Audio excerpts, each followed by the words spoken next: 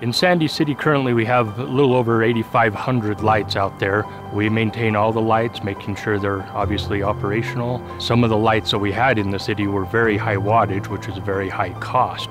We finally made the decision to switch to LED in about 2019. With LEDs, the power savings is there because the LEDs operate on such a lower wattage. So there's a huge benefit there for cost savings and lower power usage.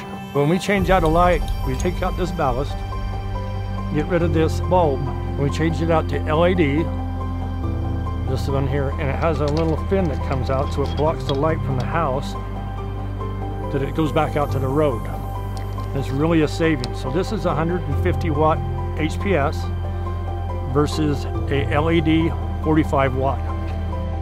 We've changed so far about half of them over to LED, mostly in our main roads, the bigger streets, the collector roads, and now we're moving into our residential areas doing neighborhoods.